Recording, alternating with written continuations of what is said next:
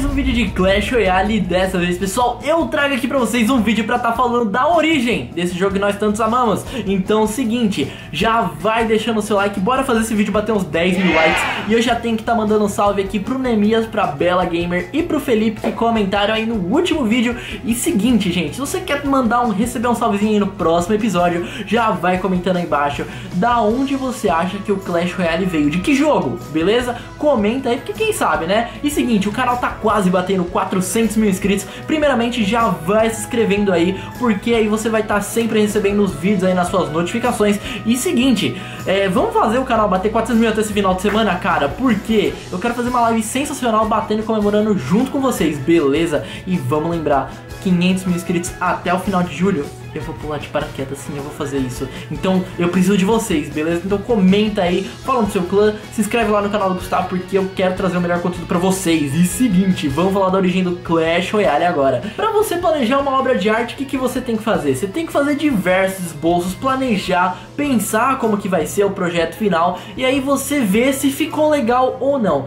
Se não ficou legal, você descarta. E não é nem um pouco diferente com os jogos da Supercell e de muitas outras empresas. A a Supercell, por exemplo, gente, já descartou muitos jogos que nem mesmo nem eu e nem você toma conhecimento de que jogos são esses, e não foi diferente com os jogos que antecederam o Clash Royale. Como vocês estão vendo aí, esse daí é o um jogo chamado Smashland, um jogo que inspirou sim o Clash Royale e ele não está mais disponível para download, porque provavelmente ele não conseguiu atingir um sucesso muito bacana e sim, ele foi produzido pela Supercell. Uma coisa que eu quero que vocês reparem é a grande similaridade com diversos elementos em relação ao Clash Royale. Gente, tem um sistema de arenas, tem os troféus, tem um pauzinho escondido ali e também, gente, todo o layout do jogo é muito parecido e também uma coisa que chama muita atenção é que ele tá no sistema de tela de pé, o que é também uma característica do Clash Royale que se revolucionou, popularizou aí no cenário de games mobile. A Supercell não lançaria um jogo para ele ficar esquecido no limbo, tanto que tem os quatro grandes que é o Hay Day, o Boom Beat, o Clash of Clans e o Clash Royale. E o que que acontece, gente?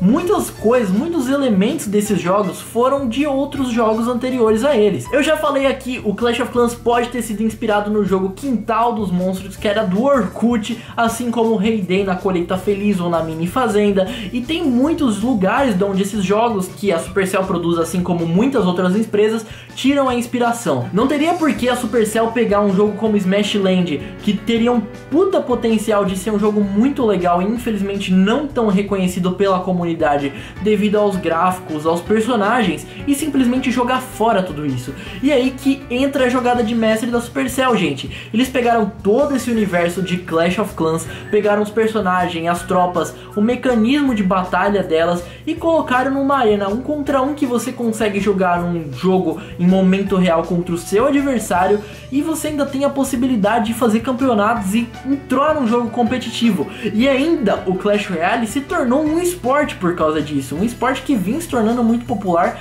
Prova disso são as transmissões na ESPN que estão batendo recorde sim, coordenadas lá pelo Bruno Clash, pelo Zeva.